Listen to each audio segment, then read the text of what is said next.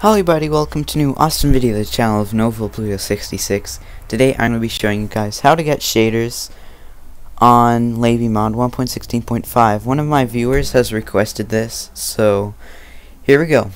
So first of all, the first thing you have to do is go to wherever it is and just double click it. And now, so this will come up like this, whichever version you want, just select it. I'm going to be showing you 1.16.5. So right up here, I don't know if you can see this. So it says sodium and Optifine, so select Optifine. And now once you've selected Optifine, now select any of these that you want. Um, so I'm just gonna select these. Now you press next. I agree, and you install it. And so once this is done installing, um, just gotta wait here.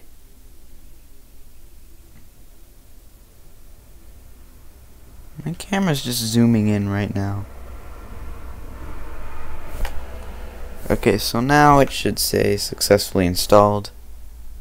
So now, after you see that, all you have to do is open Minecraft. And it should open right there. Sorry for the bad quality, but I have to do this because I cannot show you guys the shaders if I am like recording in the in the game. So I might as well just grab it here.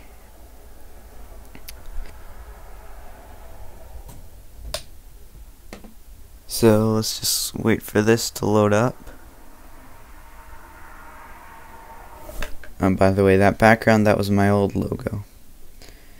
So now, once you've done this, you can go into options, video settings, shaders, and as you can see here I have them activated, but so to drag it in you just go to shaders folder, and you should have like, um, better get a new tab open here.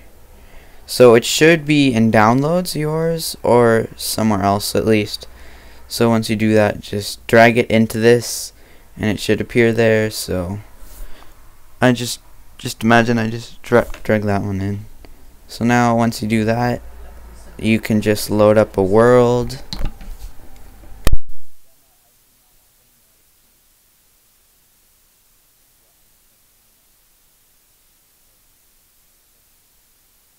Okay, so now once this loads up, you'll see that you have su successfully installed shaders. And there we go. There's the shaders. Now this looks beautiful and it doesn't lag too much. And you have all the all the mods you could possibly want in LabyMod and some shaders. So you can activate some different ones, for example, um, I don't know, Sildur's Light, maybe. Let's just wait for that to load up. And you have it in here too.